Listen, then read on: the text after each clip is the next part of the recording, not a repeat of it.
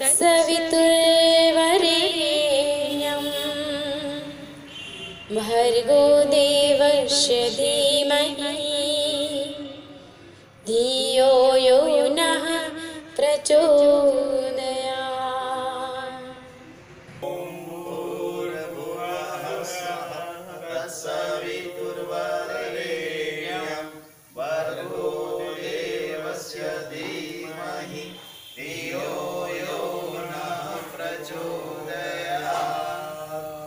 આજે મકર સંક્રાંતિ નિમિત્તે તમામ ગૌશાળાઓને ગાયત્રી શક્તિપીઠ, ગાયત્રી મંદિર દ્વારા દરેક ગૌશાળાઓને ગોળ અને ભૂસું આપવામાં આવે છે. આ જે પૈસા છે એ શાંતિ પ્રાર્થના દ્વારા પ્રાપ્ત કરવામાં આવે છે. શાંતિ પ્રાર્થનાની અંદર આદરણીય શ્રી ભીમજાણી સાહેબ, શ્રી રાવરાણી સાહેબ, શ્રી રાજુભાઈ, શ્રી મૈફતભાઈ શ્રી કાંડુભાઈ, શ્રી મૂલચંદ્રાણીભાઈ શ્રી વેદભાઈ અન્ય અમારા પરિજનો દ્વારા શાંતિ પ્રાર્થના ગોઠવામાં આવે છે. અને એ પ્રાર્થનામાંથી જે અંશદાન મળે છે, એ તમામ પૈસાનો ઉપયોગ મકર સંક્રાંતિ નિમિત્તે ગૌશાળાઓને આપવામાં આવે છે. અને આ જે પૈસા છે, એ શક્તિપીઠના કોઈ પણ કાર્યમાં વપરાતા નથી. માત્ર ને માત્ર ગાયો, માંદી ગાયો અને ગૌશાળાઓ માટે આ ઉપયોગ કરવામાં આવે છે.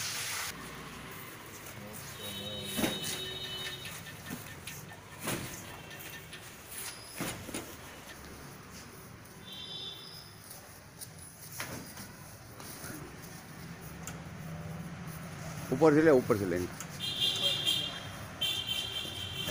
એટલે હરખા ટૂંકમાં ચોરસાઈ થઈ જાય જો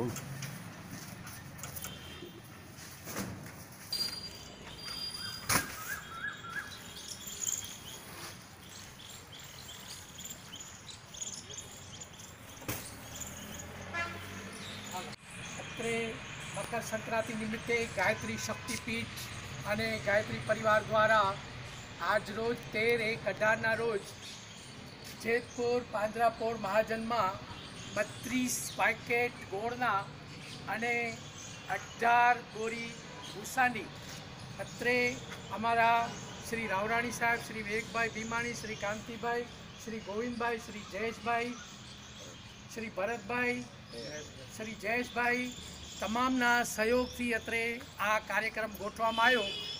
અને આ જે રકમ છે એ શાંતિ પ્રાર્થનાના અર્થે અમને મળેલ છે. જેનો વપરાશ માત્ર ને માત્ર મકર સંક્રાંતિના દિવસે ગૌશાળાઓમાં આ વસ્તુઓ પહોંચાડી અને આ વસ્તુ આપી અને આ અમે રકમ પૂર્ણ કરીએ છીએ. અને આ પૈસા કોઈ પણ શક્તિપીઠના વ્યવહારમાં કે સંચાલનમાં વપરાતા નથી.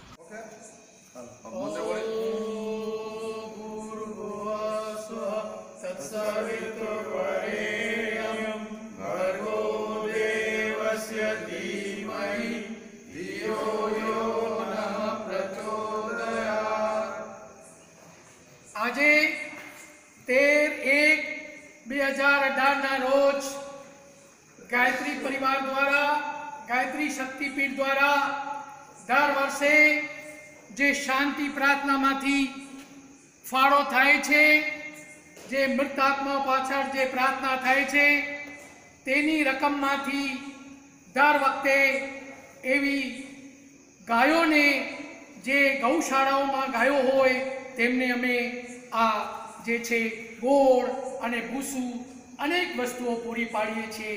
આજે અમે ઊભા છીએ બરાબર ધર્મ ભક્તિ ગૌશાળા સત્સંગ મંડળ સંચાલિત, જે ગૌશાળા છે, ત્યાં માત્ર ને માત્ર આવી લુલી લંગડીઓ ગાયો તમે જોઈ રહ્યા છો. અપંગ અંગ એવી ગાયોનું અહીંયા પોષણ થાય છે અને તેઓને સંપૂર્ણ પૌષ્ટિક આહાર આપવામાં આવે છે. આ ગાયોને છેલ્લા સત્તર વર્ષથી શ્રી મુકેશભાઈ નિરંજની શ્રી ભરતભાઈ નિરંજની આ સત્કારે ચલાવી રહ્યા છે. દરેક સર્જન પાછળ કોઈક ને કોઈ ઇતિહાસ હોય છે. તો આ ઇતિહાસ છે કે એક બિચારી ગાય જે હતી એને હાફ ચડી ગઈ હતી. બે કલાક આખું ગામ રખડ્યા, પણ ક્યાંય એમને સહકાર સહયોગ મળ્યો નહીં. ત્યારે તેમના મિત્રોએ કીધું, મુકેશભાઈ આપણે બધા ભેગા છીએ. ચાલો આપણે આપણું મંડળ ચાલુ કરી દઈએ. અને આપણું મંડળ ચાલુ કરી અને સત્તર વર્ષથી આ બંને ભાઈઓ તથા લોક ફાળાથી લોક સહયોગથી સત્સંગ મંડળો ચલાવીથી, ચલાવી અને જે ફાળો એકત્રિત થાય છે અને જે લોકો પાસેથી એકત્રિત ફાળો થાય છે, તેમાં આ અમારી જે ગાયો તમે જોઈ રહ્યા છો ધર્મ ભક્તિ ગૌશાળામાં, તેમનું સરસ મજાનું પોષણ થાય છે. અને આ જે આજે અમે જે અત્રે અહીંયા આવ્યા છીએ, તેમાં આપણે અમારા શ્રી ભીમજાની સાહેબ, શ્રી કાંતિભાઈ, શ્રી રાવરાણી સાહેબ, શ્રી વેગભાઈ, શ્રી મહિપતભાઈ શ્રી મૂલચંદાણીભાઈ, તમામ મિત્રો ભેગા થઈને, રાજુભાઈ, તમામ મિત્રો ભેગા થઈને અમે જે ફાળો એકત્રિત કરીએ છીએ, એ યોગ્ય જગ્યાએ સમર્પિત કરી છે. અને આ જે રકમ છે, કોઈ દિવસ શક્તિપીઠના સંચાલનમાં વપરાતી નથી અને અલગ રકમ કાઢી અને આની અંદર આવી રીતે અમે જે છે વહેંચણી કરીએ છીએ. તો મારી ધર્મપ્રેમી ભાઈઓને વિનંતી છે, અપીલ છે કે તમારી અંદર બી કરુણાનું સર્જન થાય, તમારી અંદર દયાનું સર્જન થાય અને જીવ દયા પ્રેમ તમારામાંથી નિર્માણ થાય. તો આના માટે આ પણ સહુ આવો અને સહયોગ આપો અને તમારું જીવન ધન્ય બની જાય ધન્ય બની જાય એવી મારી માતાને પ્રાર્થના. ભગવાન જો તમે બીજાઓની માટે જો કામ કરશો તો ભગવાન તમને પણ સમૃદ્ધિ અને કીર્તિ આપશે. ગૌ માતા કી ગૌ માતા કી. જો તમારે ભગવાનના દર્શન કરવા હોય મારા લાલાના જો દર્શન કરવા હોય તો આવો આ ગૌશાળાની મુલાકાત લ્યો તમને એવા ભગવાનના પ્રતિનિધિ શ્રી મુકેશભાઈ નરંગની ભરતભાઈ કે જેઓ પોતે તેઓને સારવાર કરે છે. ઓપરેશનો સુધી ડાક્ટરની, ડૉક્ટરની સલાહ પ્રમાણે ઓપરેશન કરી તેમને સાજા કરે છે. તો આવી મુલાકાત લઈને તમારું પણ જીવન ધન્ય બનાવો.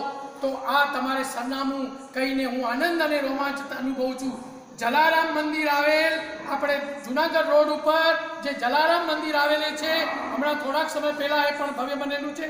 તેની સામેના બરાબર રોડથી ચાલ્યા આવો અને પૂછજો ધર્મ ભક્તિ ગૌશાળા ક્યાં આવેલ છે?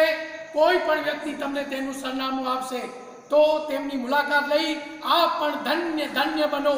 અમારા મિત્ર શ્રી મુકેશભાઈ નિરંજની અને ભરતભાઈ પોતાના સત્સંગ મંડળ સાથે ગામડે ગામડે જઈને દૂર દૂરના વિસ્તારોમાં જઈને સત્સંગો કરી અને શાંતિ પ્રાર્થનાઓ કરી, કીર્તન કરીને જે એકત્રિત થાય છે, જે એકત્રિત કરે છે, તે માત્ર ને માત્ર આ અમારી જે અપંગ, જે દયાજનક એવી અમારી માતાઓ માટે વાપરે છે.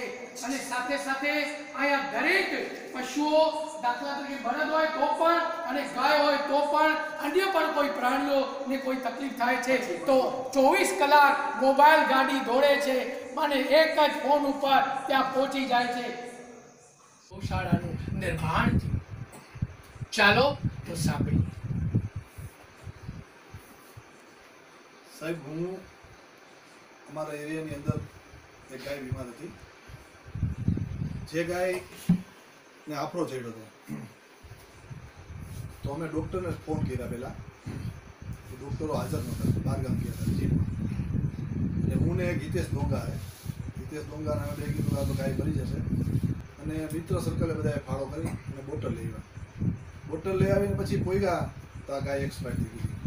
એટલે અમને બધા મિત્ર સર્કલને ગોપાવાડીના બધા એને થયું કે આ તો બહુ દુઃખની વાત છે. આટલા પૈસા ન મળે. તો તું એ કે ગરમી તો કરાવે છે. તું મંડળ તો કરાવ ને એટલે પછી અમે મંડળ ચાલુ કર્યું. મંડળમાં બહુ અમને વ્યવસ્થિત માણસો મળતા ગયા બધા. પછી ધીમે ધીમે ધીમે ધીમે કરતાં કરતાં ત્યાં જનકભાઈ વકીલ, જેને અમને એના માતુશ્રીના નામથી અમને જગ્યા આપી. ભાઈ, તમે આ બીમાર ગાયોને રાતે ગોતો એના કરતાં અમારી જગ્યા દઉં તમને. તમે એમાં રાખો. પછી અમે જગ્યા નાનકડી એવી જગ્યા બસો અઢીસો વાળનો પ્લોટ છે. એ અમને અર્પણ કર્યો. પછી અમે ચાલુ કરીને પછી એમાં સમાધિ નહોતી ગાયો. કે એક ગાય છે લેવા હોય બીમાર. એની માથે પછી પગ રાખીને સવારે બીજી ગાય ઊભી હોય એટલે અમે અહીંયા બીજી જમીન લીધી. અમે બોલતું બહુ સાર્વજનિક પ્લોટ ક્યાંય હતા નહીં. અહીંયા લીધી એક બે પ્લોટ લીધા પહેલાં. અને પછી ધીમે ધીમે કરતાં કરતાં અત્યારે આડત્રીસ ચાલીસ પ્લોટ છે અહીંયા અમારા. અને અત્યારે આ તમે જોઈ રહ્યા છો, એટલું બધું અમે સાત સત્તર મેળવ્યો બધા ભાઈઓનો, બધા બહેનો બહેનો પણ ઘણા આવે છે. અમે સત્સંગ મંડળ ચલાવીને પહેલાં તો અમે પૂરું કરતા બધું, પણ હવે તો ઘણા દાતા આવે, જેમ જેમ ખબર પડે એમ, બે હજાર, પાંચ હજાર, પચાસ હજાર, લાખ રૂપિયા તો આપી જઈ જાય સરસ. મુકેશભાઈની વાત ઉપરથી એવો ફલિત થાય છે કે આપણે ભગવાનને ક્યાં ગોતીએ છીએ? મેં ઢૂંઢતા થા તુજે મંદિર મસ્જિદો મેં तू मुझे मिला दीन दुखी और दर्द भरी करुणामयी गायों और पशुओं में